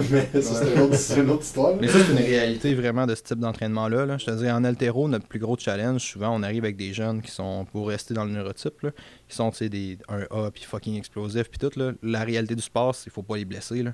Souvent, c'est vraiment, vraiment la partie difficile. Les jeunes sont fucking go, go, go, fucking explosifs, tu sais, stretch reflex en à côté dans le fond du squat, puis tout. Là. Puis c'est puis c'est ça les demandes du sport, fait que c'est awesome. Là. Mais tu sais, l'aspect vraiment intensité, je pense, amène un. Puis encore là, c'est peut-être juste moi qui est une pussy puis qui est pas capable de tolérer bien ce type d'entraînement-là. là. Mais le fait reste que je pense que le risque augmente pas mal. là. Ouais, c'est ça. Puis le fait que. J'aime dire que quand tu nais, tu as une carte de crédit qui est ta carte de stress. Sais, Puis il y a du monde qui naît avec une. euh, Les métaphores sont vraiment solides. C'est comme ton expression de tantôt, man, avec euh, le yab. Je m'en rappelle plus c'était quoi. ça, c'est une expression à mon père. ça, je- Mais c'est ça, tu nais avec une carte de crédit, puis il y en a qui naissent avec une limite de 500, puis d'autres de 3000, puis d'autres de 4000, puis c'est le stress qui est capable de tolérer. Ouais. Fait que tu sais, veux pas, le stress neural, c'est pas mal ça qui est le plus dur à tolérer. Fait que là, si déjà là, t'as une job stressante, ou même si t'as pas une job stressante, mais tu t'en mets beaucoup sur les épaules, puis t'as beaucoup d'affaires à gérer et à penser, t'as une famille, t'as ci, t'as ça, blablabla, puis là, après ça, tu t'en vas faire des entraînements neurales tout le temps, mais ça se peut que toi, ta carte de crédit, là, euh, t'es t'es à côté Ouais. au bouchon, là, puis que là, euh, tu vas avoir les intérêts, faut que tu payes après, là, tu sais. La métaphore est à toi. Fait qu'il faut toujours que tu penses à ça, là, tu sais, quand t'as un client. Je pense que, tu sais, ce qui arrive, c'est qu'il y a beaucoup de coachs que c'est des genetic freaks. Tu sais, qu'ils sont Yep. super bons dans ce qu'ils font, Mm. puis là, ils vont coacher au monde parce qu'ils aiment ça, puis ils sont bons dans ce qu'ils font, puis c'est des bons athlètes. Mais là, ce qui arrive, c'est qu'ils entraînent tout le monde comme eux. Mais ce qui arrive, c'est que là, justement, ben, moi je fais 27 pour mon chest. Mais moi je fais 27 pour mon chest, je suis cassé raide, mais j'ai des clients qui vont être capables de le tolérer. Moi je suis incapable de tolérer ça, tu sais. Mais là, on tombe, on tombe dans quelque chose de vraiment malade. Là. Je te dirais, là, on tombe dans une autre fucking discussion. Là, la- l'aspect d'un coach, puis la définition même d'un coach. Je te dirais, tu sais, moi, je pense une force que j'ai en tant que coach, c'est que je suis un fucking moron moteur. Là. Fait que, tu sais, si j'ai à apprendre un bon squat, si j'ai à apprendre, tu sais, tes affaires, tantôt, je te posais des questions pendant parce que je comprenais pas pour vrai, tu sais. Puis je pense que t'as la réalité. Je sais pas que je suis un bon coach, mais je suis un coach acceptable, mettons. C'est, c'est... Dis-le donc, t'es un beau Je suis un scientifique! Je suis un scientifique. Là, je trouve que. Tu te dénigres, tu t'auto-flagelles comme le gars qui, Ah, qui les sur cuisses Instagram. tantôt, je me suis pas Non, mais là, là, faut t'arrêter de faire ça. Ok, sorry, Ok. boys. Sorry, les gars. Mais, euh, tu sais, le fait reste que. J'ai complètement oublié ce que je disais parce que j'ai parlé des cuisses à Simon. Puis T'étais un moron. Puis après, t'as dit que t'étais un moron menteur. Euh, un moron menteur. Un moron moteur. Je pense que c'est tes cuisses qui m'ont fait cet effet-là, pour vrai, man. On devrait, on devrait se mettre des limites de ce qu'on peut parler ou non? Mais euh, Tu disais que t'étais un bon coach. Une de tes forces, j'ai complètement oublié ce que je disais. avec sûrement les- de. Parce que. Ah oui, c'est C'est ça, c'est les coachs. C'est ça, c'est que, tu sais, on est. C'est c'est le fait que tu as, une perspective unique sur une direction. Tu sais, l'idée que tu arrives avec un coach, tu as juste cette vision-là, ben, tu pas capable de l'appliquer à d'autres personnes. Tandis qu'un coach, c'est pas un athlète. La mission est totalement différente. Tu sais, en chose, il y a une différence entre être un bon professeur puis être un bon étudiant, je pense. là. C'est un peu ce que je veux dire. Là. Puis tu sais, il y a bien bien du monde dans le bodybuilding qui vont aller voir. Ils voient un gars avec des gros mollets. Puis ils sont comme, hey, je vais lui demander qu'est-ce qu'il fait pour ses mollets parce qu'il y a des gros mollets. Tu demandes au gars qui a des gros mollets, là, 95% du temps, qu'est-ce que tu fais pour tes mollets? Je les entraîne pas. C'est ça, ils sont nés avec des Ils sont nés avec des mollets. Les gros biceps, souvent, tu fais quoi? Ah, je fais des curls. Ils font rien de spécial parce que génétiquement, ils sont blessed. Ils, ils ont des forces génétiques, tu sais. Tu demandes à Klokov, demande de t'enseigner le, le, le, le clean. Oui, il y a de la technique, là. Mon sentiment dessus, c'est de la force Klokov est brute. vraiment là. pas un technicien. Klokov est C'est vraiment ça. pas un Mais technicien. Kim est fini Zéro. deuxième aux Olympiques. Ouais. À cause que un, le gars, il a une génétique incroyable. Fait que, tu sais, faut pas regarder le 1% de la population et essayer de lui demander Hey, qu'est-ce que tu fais? Ils font rien de spécial. Mais tu sais, t'as ramené une affaire qui est vraiment importante aussi. J'ai l'impression que ça fait dix fois que j'ai cette phrase-là. T'as ramené, c'est ça. T'as ramené cette affaire-là vraiment importante, tu sais. Là, on est vraiment dans quelque chose de. On est dans quelque chose. Tu sais, non, c'est. Tu sais, c'est. Faut que tu trouves qu'est-ce qui marche pour toi, Calis. On a beau le répéter. Oh, regarde, j'aurais beau arriver puis je te dis, garde, man, moi, je vends des suppléments de kétone. Fait que je vais faire la promotion de Ceto. Tu vas peut-être réagir comme la merde à Ceto. Comment tu le sais? Tu fucking l'essayes Tu sais, puis le monde sont tellement que c'est ça la meilleure, c'est ça la meilleure, qui essaye pas autre chose. Puis c'est peut-être juste ça la thématique de la conversation. C'est moi qui fais des liens avec tout. Ça se peut aussi, là. C'est c'est tellement vrai. Tu sais, pour. Que je fais des liens avec tout ou. euh? Non, c'est- euh, Tu sais, au début, même quand je, quand je commençais la, la calisthénie, je voulais progresser rapidement. Puis, tu sais, c'est- la calisthénie, c'est d'apprendre des mouvements aussi, des skills, des mouvements, tu sais, de tenir des, justement des figures isométriques, là, juste tenir. Puis j'allais voir sur Internet, je parlais avec des gymnastes, je parlais avec plein de monde, je- j'essaie d'a- d'avoir le plus d'informations, puis de trouver la meilleure progression Ah pour ouais. réussir le Ah plus ouais. rapidement. À la place de juste dire, moi les essayer, puis voir celle qui marche pour moi. Puis il y a un gars qui m'avait écrit, utilise ça, tu vas l'avoir en deux mois. Puis j'étais comme, pourquoi je veux tout le temps savoir combien de temps ça va prendre? Tu sais, le- même là, je, je reçois plein de messages de comme, hey, cool ton mouvement, tu l'as réussi en combien de temps? Je suis comme, c'est pas ça que tu devrais demander. C'est, tu sais, on s'en fout du temps. Tu sais, si ça va peut-être te prendre un an, tu sais, ou il y a une personne, ça va lui prendre un an, mais l'autre, ça va lui en prendre deux mois. Puis tu sais, la technique que le gars m'avait écrit sur Internet, ça marchait pas pour moi. Je comprenais pas, ça, je le sentais pas. Puis j'ai pris une autre, un mouvement que le monde disait une progression que il la délaissait parce qu'il a- il aimait pas. Je l'ai eu en deux mois le mouvement juste parce que pour moi ça fonctionnait. Tu sais, c'est ça, ça ramène à ton hostie de question de marde, à savoir quelle est la meilleure. Tu sais, les réponses sont pas aussi intéressantes que les questions qui sont posées souvent, tu sais. Puis ton hostie de question de marde, de quelle est la meilleure méthode, quel est le meilleur outil, quelle est la meilleure progression. En vrai, c'est juste un recherche, une recherche de quick fix, right? C'est juste une recherche de raccourci, c'est juste, ça, ça démontre un mindset tellement de marde. Quelle est la meilleure façon que je peux aider là? Tu sais, man, c'est pas ça la question. C'est pas ça la question. La, la question, c'est comment tu peux progresser avec qualité en fonction de qu'est-ce qui est bon pour toi, tu sais. Tu veux pas être le gars qui est reconnu à couper son hostie de gazon tout croche. Tu, veux, tu veux pas, tu veux pas être ce gars-là, là. Pourquoi tu veux être ce gars-là en entraînement, tu sais? Puis même affaire en alimentation, là. Arrêtez de chercher les... En, en tant que gars de santé publique qui a passé beaucoup de temps à chercher des réponses uniques, là, y en a pas, man. Y en a pas de fucking réponse unique quand on parle des humains. Puis cette hostie de question-là, de... Ouais, combien de temps, quelle est la meilleure progression? Combien de temps ça va prendre? Le fucking temps que ça prendra, man. Ça t'a pris Le combien fucking temps que ça prendra. Ça t'a pris combien de temps de te rendre là, tout ça, Ouais. ou tu sais? Ouais. Une affaire que ça me fait penser, il y a une phrase qui dit La qualité de tes questions dit que la qualité de ta vie.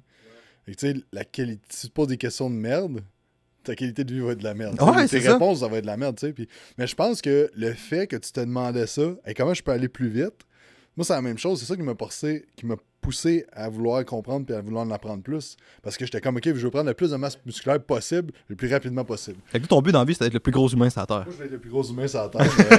je me suis rendu compte qu'il n'y avait pas de génétique pour ça assez vite. Mais, euh, mais bref, c'est ça. Fait que déjà, j'essayais plein d'affaires. Puis je me posais des questions. Puis je parlais à plein de monde parce que je voulais savoir c'est quoi le truc pour être le plus gros possible. Mais ça, c'est le début de ton apprentissage. Puis à un moment donné, tu te rends compte que, OK, ouais, finalement, il n'y a pas de truc. Là. Mais genre.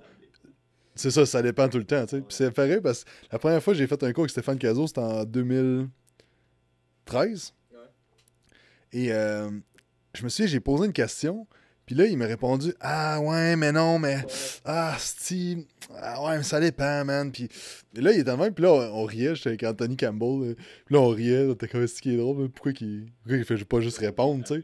Mais tu sais, comme depuis deux ans, je réponds de la même affaire, tu sais. Puis là, c'est ça, tu vois. Tu sais, j'ai fait. euh, je me souviens plus combien de cours avec Stéphane, mais plus ça va, plus je suis comme, OK, man. Plus je deep down dans son principe et dans ses affaires, je suis comme, OK, man. Il est à un autre niveau au niveau de, de préparation. De compréhension là, de- malade, de- Ouais, c'est ça. Fait tu sais, je pense que si t'as un coach qui te répond blanc ou noir, Mais ça, ça change tellement de quoi aussi, là, l'idée d'avoir un coach, quelqu'un qui te guide, là, puis c'est drôle, man, parce que, encore là, c'est moi qui fais des liens, peut-être qu'il n'y en a pas, mais à quel point on vit la même affaire, juste dans des circonstances différentes, là.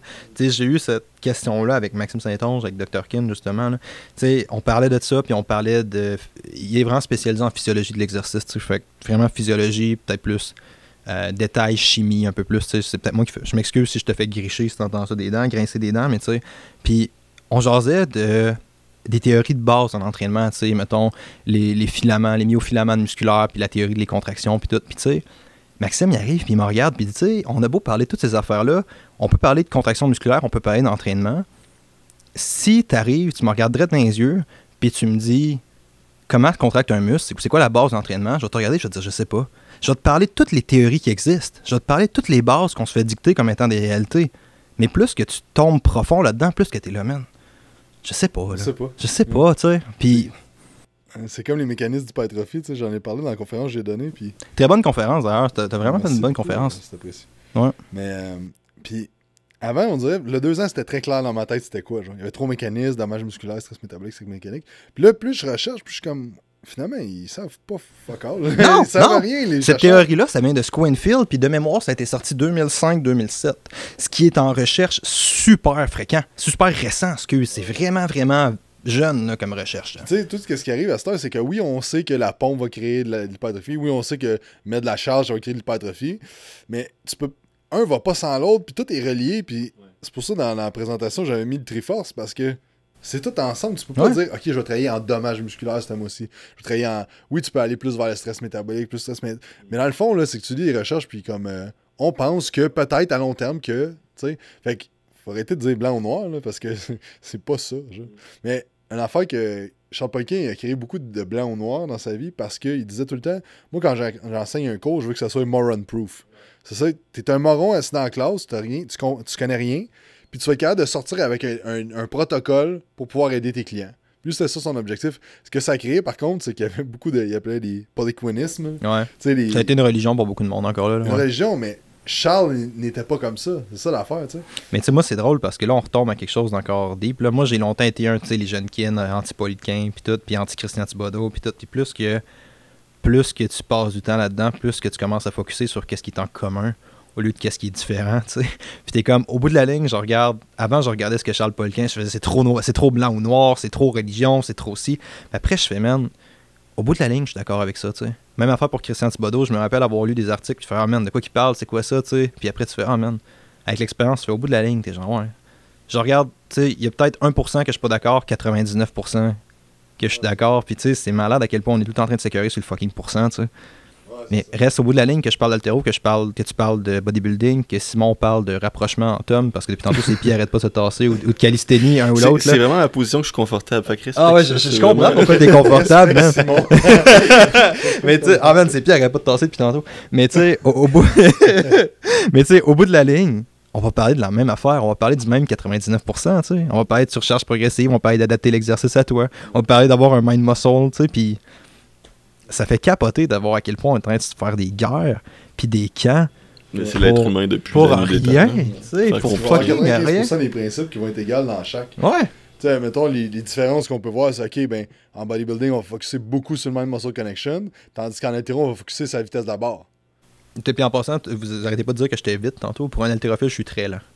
Fait que si vous devriez voir des jeunes au club, là, man, c'est c'est flash, les jeunes, là. Mais ces différences-là, c'est le 1%, mais le reste, comme tu dis, surcharge progressive, euh, faire tes mouvements comme il faut, adapter, c'est toutes des affaires en, en calisthénie. Ouais, c'est la Ouais. même affaire. Moi, depuis, c'est la même depuis que j'ai commencé, mon principe de base, c'est tout le temps la surcharge progressive. Je regarde toujours mes, mes entraînements d'avant, puis c'est comme, est-ce que je continue à avancer? Sinon, il y a de quoi qui est louche. Puis, tu sais, j'ai pas besoin de me compliquer plus la vie que ça. Je fais des phases d'intensification, puis après, je fais plus du volume. Tu sais, c'est- pas besoin d'être compliqué, là. Puis c'est quand j'ai parlé à un gars qu'il est rendu à un niveau incroyable. Tu sais, il fait des, des handstands sur une main, puis il, il- il essaie d'avoir un mouvement que personne fait en, est capable de faire, puis c'est un handstand push-up à une main.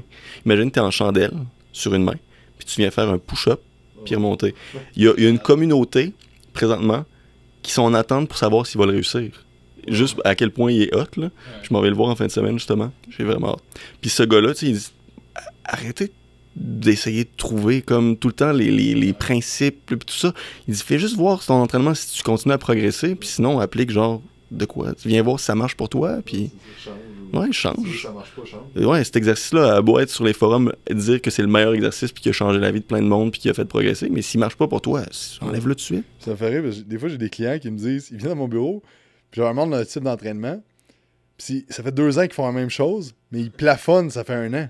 Je comme, ça fait un an que tu plafonnes? Puis t'es pas venu voir quelqu'un avant ou t'as pas changé de quoi, là? Ça- J'ai une bonne histoire pour toi là-dessus aussi. continue. Le, le deuxième paragraphe du livre, c'est sur. euh, dans le fond, je vais essayer d'ouvrir tous mes livres avec. euh, tous mes chapitres de livres avec une histoire, mettons, que je compte. Puis l'histoire du deuxième, du deuxième chapitre, c'est une fille que j'ai entraînée qui a suivi la même méthode d'entraînement ou le même programme pendant genre plusieurs mois. Puis même, je pense que c'était en année, je me rappelle plus exactement. Là. Puis tu sais, elle progressait plus, là. elle avançait plus, tu sais. Puis elle a eu des résultats en changeant au début. Puis tu connais l'histoire, l'évolution normale d'un. C'est pas un bro, c'est une fille, mais d'un broette de gym, tu sais. Puis à un moment donné, je regardais, puis je disais, alright, tes charges ont-tu monté, tes reps ont-tu monté? Puis là, tu te rends compte qu'à force de poser des questions, qu'il n'y a aucun principe de surcharge progressive. Il n'y a rien, rien, rien, rien. Fait que j'ai dit, regarde ce qu'on va faire. Tu vas garder ton programme, on va peut-être adapter deux, trois exercices pour toi, juste pour que tu te sentes mieux. Même série, même rep, même exercice. La seule affaire, c'est que tu montes ta charge ou tes reps sur ça. On se revoit dans six mois. Elle rentre dans mon bureau, man, elle cogne même pas. Elle ouvre la porte, puis elle fait Je comprends pas, j'ai jamais progressé de même. T'as jamais progressé tout court. T'as jamais. jamais eu aucun principe de progression, tu sais. Puis on est tellement fucké, puis encore là, excusez, c'est moi qui le ramène, là. mais tu sais, on est tellement occupé à se battre sur les tabarnaks de détails. On est tellement occupé à se battre sur Alright man, t'as un gym, t'es mieux d'avoir une fucking trap bar qu'on oublie de faire OK, progresse dans ton entraînement. Tu sais, progresse dans ton entraînement, blesse-toi pas. Fais une rep de plus, mets 5 livres de plus, mais Ouais, fais ouais. un tempo un petit peu plus lent. Faites, faites quoi de différent? Augmente à chaque fois, tu sais. Puis c'est l'analogie que je dis toujours. Tu vas avoir un beau tanning pour l'été. Tu veux des petites expositions constantes et graduelles, de jour en jour, tu sais. Si tu vas dans le, dans le salon de bronzage pendant 8 heures, tu vas être brûlé. T'es-tu allé dans un salon de bronzage pendant 8 heures? Mais tu. Ok, je vais te conter une anecdote. J'ai jamais conté ça à personne. Vas-y, je t'écoute. J'ai Surfer sur un pote. Oh dans une machine à bronzage. T'as dormi dans une machine à bronzage? What the que je fuck, dans un man? gym, OK, qui avait une machine à bronzage, OK? J'ai j'ai terminé très tard le soir et euh, je commençais le lendemain matin. Puis là, je me suis dit, je restais à Montréal dans ce temps-là, en tout cas, c'était c'était genre 40 minutes de char, mais j'étais comme, il était 11h, puis je fallait que je rentre à 7h le lendemain matin. Puis j'étais comme, tu sais quoi, je vais dormir dans la salle- dans- Fait que j'ai dormi dans une cabine à bronzage. J'ai Puis- très bien dormi, en fait. Allumé ou. euh? Mais là, Ah, ok, là, j'étais Il y aurait- il y aurait eu un cancer de la peau, il est- là, il il serait- noir, plus là, là. c'est ça. Et c'est l'histoire que de comment Jack est devenu black. C'est ça, gars. Mais bref, il- tout ça pour, Bref, j'ai dormi dans une cabine de bronzage. tout ça pour dire que ça te prend des petites expositions constantes. Fait que c'est pas à créer un gros, gros, gros, gros stress que tu vas progresser. C'est des petites expositions. Mais l'affaire aussi, c'est que si tu atteins un, un certain, un certain bronzage, ça va t'en prendre un petit peu plus pour progresser. Tu sais, si t'es es brun à 10%, pour, à 10%, mais si tu veux te monter à 15%, il va falloir que tu augmentes l'intensité ou tu augmentes la durée ou tu augmentes de quoi. tu sais. L'entraînement, c'est exactement ça. L'affaire que je vois souvent justement en calisthénie, puis que ça me fait. On, on embarque dans un mythe, là. Mais tu sais, le monde qui dit que tu peux pas gagner de la masse musculaire avec, avec l'entraînement poids du corps, c'est juste parce qu'ils connaissent pas les progressions d'après. Mais l'affaire qui me fait chier le plus, c'est fais 50 push-ups par jour, puis tu vas être en shape. Puis je suis comme, t'appliques aucunement la surcharge progressive. Pourquoi tu vas pas faire 51 push-ups le lendemain? Sais, ils vont toujours faire le même nombre de répétitions à chaque jour. Puis le gars était comme, ah, c'est de la merde l'entraînement au poids du corps. J'ai su- j'ai suivi un entraînement de 100 push-ups par jour, puis euh, je prenais pas de force. Puis c'est sûr, tu fais de l'endurance, tu sais, tu fais 100 push-ups. Mais si tu n'en as jamais fait, tu vas avoir une Ouais. adaptation incroyable pendant 3 Mais tu sais, euh, le programme, c'est comme sur deux mois. Tu sais, tu- vas Mais pas. euh, Mais c'est ça, ça c'est une autre affaire qui est un gars que, que j'aime beaucoup en entraînement. Un, pas une de mes plus grosses influences, mais un des gars que j'ai lu le plus en entraînement, c'est Dan John. Connais-tu? C'est assez malade ce qu'il fait. C'est un gars de philosophie d'entraînement. C'est fucked up ce qu'il fait, mais moi j'adore. Puis Dan John, il dit ça, tu sais, on peut débattre de ce que vous voulez, les gars. On peut parler de méthode d'entraînement. Ultimement, tout marche pour un nombre de semaines. Tout va marcher, c'est juste que ça marchera pas indéfiniment. Fait avant de commencer à bitcher des méthodes, dis-toi qu'elle va probablement marcher. fait que là, des gars, ouais, c'est ça. Est-ce que ça veut dire que c'est ce qu'il a privilégié? Ben là, on tombe dans un débat individuel. Est-ce que c'est bon pour toi? Mais reste le fait que, ultimement, tout est bon si ça te blesse pas puis si tu progresses, tu sais, right? Ce qui arrive aussi, c'est que tu as eu, à partir des années, des années 70, stéroïdes anabolisants. Puis là, dans le fond, les gars, ils font n'importe quoi, ils progressent quand même. Dorian Yates a fait le même style d'entraînement pendant les 6 ans qu'il a gagné l'Olympia. Le même style d'entraînement, les mêmes affaires. J'aime la philosophie en arrière, par exemple, de Dorian Yates. Là, on Ouais, tombe dans ouais, autre chose. L'idée, fucking avait- max effort, là, ça, Ouais, j'aime Il y ça. avait là. toujours une progression, ça c'est sûr. Mais l'affaire, il a tout le temps fait le même style d'entraînement, par contre. Mais je serais curieux de voir, naturel, Dorian Yates, premièrement, une génétique incroyable. Mais tu sais, je pense que quelqu'un de naturel, faut créer un stress pour s'adapter, puis t'as pas le choix de faire ça. Puis aussi, l'affaire Dorian Yates, c'est déchirer deux fois les biceps, deux fois les triceps, ici, il est tout pété. Parce qu'il faisait tout le temps le même Trop de style. Tu C'est comme dire, je fais ça sur le bureau pendant... Je frotte mon doigt sur le bureau pendant 5 minutes, ça fait rien. Je fais ça pendant deux ans, mon bout de doigt il va être arraché ou il va y avoir un trou. là. C'est la même chose, tout le temps bûcher à la même place, c'est que tu crées, tu crées des blessures à un moment donné. tu. Ça, c'est probablement ta blonde qui dit Les gars, je suis en train de mourir de faim, venez faire de quoi, ça Ouais, réponds-y, man. Faut la remercier pour les muffins. La blonde à Simone nous a fait des. Ah, on les a montrés dans l'air. Elles sont merveilleux, les. Il y a vraiment des bons muffins, il y en a juste deux. Ouais, j'ai comme posé les pigés dedans depuis tantôt parce que c'est juste moi pis toi qui pogne dedans, puis Simon il en prend pas. Des low carb, c'est quoi? J'en ai déjà Simon il fait attention mangé. à sa glycémie, J'en ai man. déjà mangé assez. Mais euh, on conclut tout ça. là. Ben moi j'aurais peut-être une affaire que j'ai trouvé malade que je pense qu'il vaut la peine de finir. On devrait tous parler de notre jeu vidéo préféré. Non, c'est pas non, c'est pas vrai. Ben ouais, C'était pas ça la question, c'était pas ça la question. Final Fantasy, man. lequel? Le j'ai joué énormément au 7, mais mon préféré serait probablement Ah, fuck, man, c'est deep comme question, ça.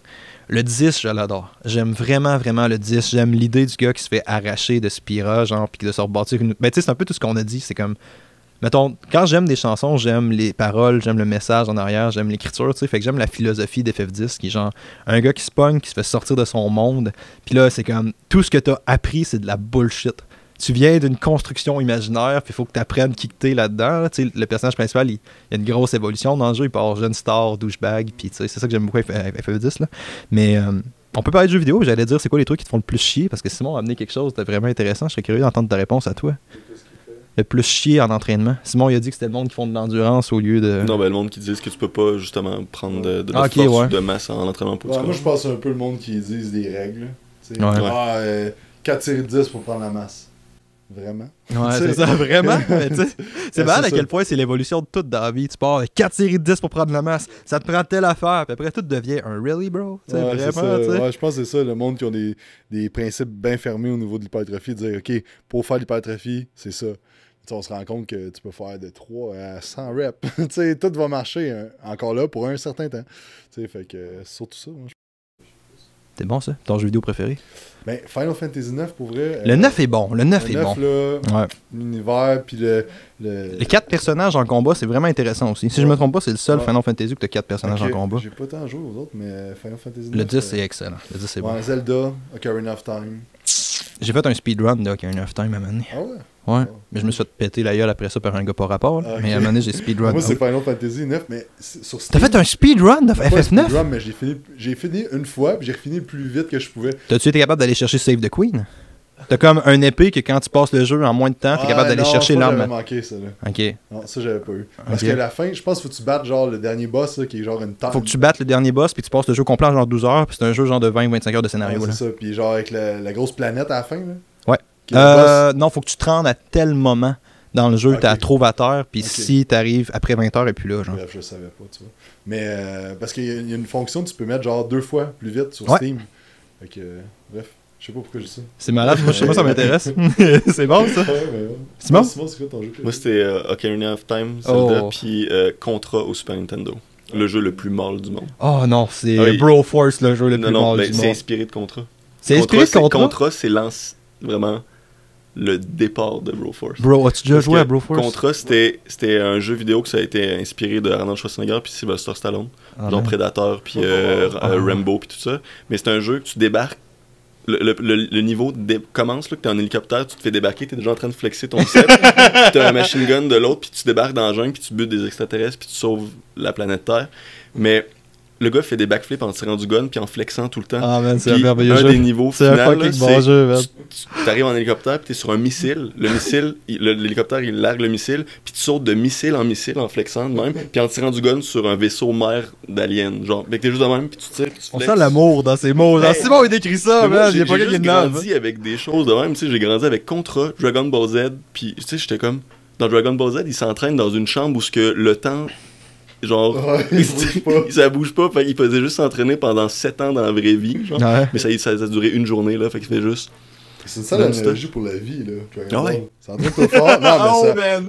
Euh, moi j'ai grandi avec les, sur le mais les valeurs de Dragon tu sais j'ai mon gilet là, les valeurs de Dragon Ball sont Ben, incroyables exact. Ah, genre le- juste le fait de les, les, les friendships ils sont tout le temps en train de parler comme de les valeurs comme le, le courage euh, l'amitié est tellement forte là-dedans puis manger puis s'entraîner finalement il fait juste que son coucou Ouais, c'est fait ça. juste manger Puis quand tu te Ouais. fais battre, de revenir plus fort, Ouais. de jamais baisser les bras. ouais, de- ouais.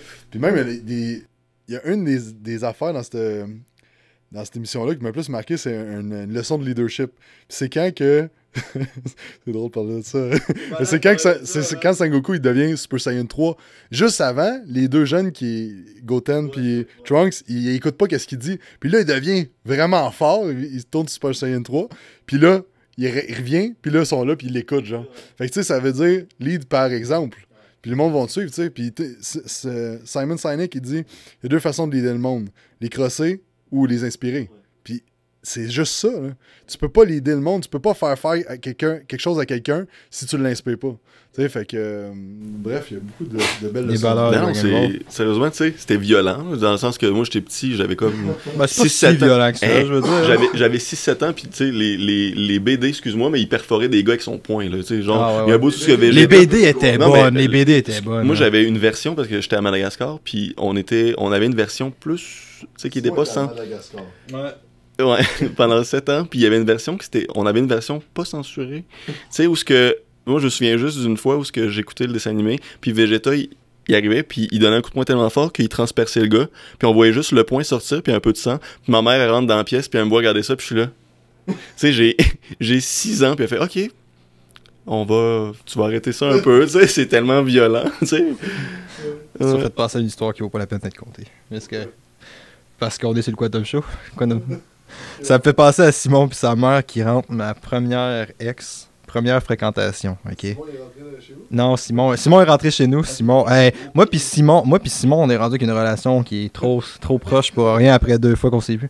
Mais euh, non, c'est pas. Ah, oui, ça vaut la peine. J'ai déjà lancé ça. Mais tu sais, je te jure ici, c'était c'était le pire malaise de toute ma fucking vie. Tu sais, tu sors avec une fille, ses parents sont super gentils, c'est la première fois que je vais dormir chez eux, tu sais, j'ai genre 15, 16 ans. là. Puis c'est la première fois que je vais dormir chez eux, tu sais, puis on choisit un film, puis Comment il s'appelle le film où est-ce que le gars met sa dick dans la tarte? J'ai oublié le nom. American Pie. American Pie. Ok, j'ai jamais. Ok. On rentre, ses parents sont super. On va vous laisser la maison, vous allez pouvoir écouter votre film, tout est beau. Puis moi, je savais, c'est moi qui ai choisi le film. Puis il y avait comme toutes les American Pie, puis je savais que mes amis aimaient vraiment American Pie. Fait que je me disais, ah man, ce qui paraît, c'est vraiment drôle, ça te tente-tu d'écouter ça? Il y a comme une grosse scène de sexe fucking sale dans un de ces shows-là, ok?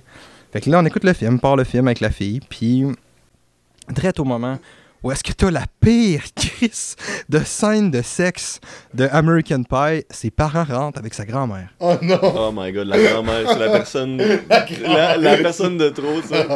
Imagine, c'est c'est ça. Fait que là, tu sais, je veux dire, ta mère qui te voit être transpercée par fucking Vegeta, man. là. Ouais, mais c'est Oh, man. le contexte, c'est. Mais je me rappelle pas, je me rappelle pas si c'était sa grand-mère, mais tu sais, c'était comme sa famille et une tierce personne. Fait que là, t'es comme. Oh, Sérieux, fuck. là? Ouais, c'est ça. Ils m'ont jamais vu, ils m'ont jamais parlé. Ils rentrent, il y a une grosse crise de scène de cul à TV, genre. C'est là que ça s'est terminé. Euh, non, même pas, je pense que c'est une de mes plus longues relations à vie. C'est peut-être pour ça que c'est une de mes plus longues relations à vie aussi. Il y a peut-être une cause à effet. Alright, fait que euh, je pense que ça fait pas mal le tour. Est-ce qu'on peut vous suivre, les boys? Instagram, puis Facebook, euh, Simon Mto Calisteni. Ouais, puis sinon, euh, il y a aussi euh, le magazine. il y a- y a- Web Magazine. Ouais, Mouvement Momentum, Magazine. ouais, Mo- Momentum, ouais. Vous Mouvement. pouvez suivre Simon sur Momentum fait à jouer. Fait que là, c'est ça. T'as le Web Magazine qui parle de calisthénie, d'entraînement poids de corps, de nutrition aussi. En nutrition, yoga, euh, vraiment plein de styles d'entraînement euh, autres que l'entraînement en salle. C'est vraiment pour faire découvrir plein de choses, euh, l'escalade. Ça, c'est gratuit. Ouais, gratuit. Donc ça, gratuit. gratuit. Gratuit. Ouais, c'est vraiment le, le but, c'est de faire connaître avec des articles de, de qualité, puis euh, des, des, des, des choses autres, pour faire vraiment découvrir des styles d'entraînement. Et t'as aussi la reine que tu viens de sortir? Ouais, pour apprendre la calisthénie en ligne. Fait que ça, c'est un site web, membership, Ouais. que dans le fond, le- les gens ils s'inscrivent, puis ils ont dans le fond des progressions d'exercices, des modules, comment ça marche? Ouais, c'est vraiment. euh, là, les, les cours que j'ai créés, là, c'est fondation. Donc, c'est partir vraiment d'une personne qui est capable de faire zéro push-up, zéro tirage, rien, rien, rien, pour progresser justement. à- quand la personne a terminé, elle est capable de maîtriser un peu les anneaux, puis de, de, de- de faire des pull-ups, des dips. Puis euh, après, là, je vais sortir graduellement des cours sur le muscle-up, le handstand. Puis c'est de quoi qui grossit de plus en plus. Là. Puis on ouvre les portes, euh, on, on ouvre les portes à un certain moment, on les ferme, puis comme ça, je peux rester avec la même communauté. C'est quand Puis, la euh, prochaine fois ça l'ouvre? Ça va être en février. Février? C'est quoi le site? Février-mars. C'est c'est sur mon site internet, Simon Mto, mais on va rouvrir les portes. Simonto.com. Yep. Puis Alex? Alexandre Busque, euh, entraîneur, Momentum HV, podcaster, Momentum Show sur Facebook, Instagram. Il y a un livre qui s'en vient, là. Le- je sais pas, j'ai un livre qui s'en vient, pas en priorité parce que je, je veux écrire un livre dans l'optique de ce que je fais. Puis c'est vraiment difficile parce que je suis fucking TDAH puis que je pars tout le temps chaque bord, chaque côté dans tout, tu sais. Fait que c'est comme en vrai, j'écris une espèce de roman genre parce que je mets des histoires puis je mets ça puis euh, c'est long écrire une histoire, man. C'est dur de trouver un fil conducteur puis mettre des personnages. C'est des personnages au bout de la ligne, ça. Parce que même, j'en parle, ma, ma première intro du livre, mettons, c'est votre discussion pour Apocalypse, puis moi qui mange un, un repas un peu froid à côté. Puis, euh, j'ai même, pas eu- j'ai même pas le temps de manger au Apocalypse, c'est sérieux.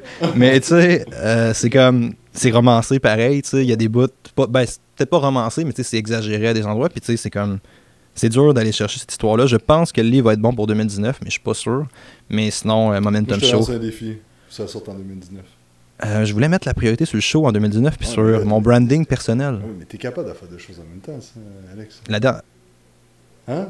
Et Ah, juste on peut. 2019, là, t'as t'as 12 mois, t'as 365 À chaque, jours. fois, à chaque fois, je me fise 15 000. Man, mon problème dans la vie, c'est que je pars tout le temps sur 15 000 trends, comme les gens ont probablement pu remarquer aujourd'hui avec Ouais. mon histoire d'American Pie. C'est Momentum Show, branding personnel, livre. Ton livre, c'est ton branding personnel. là. dans le fond, ouais. Puis c'est drôle, ouais. T'as raison. T'as bien raison.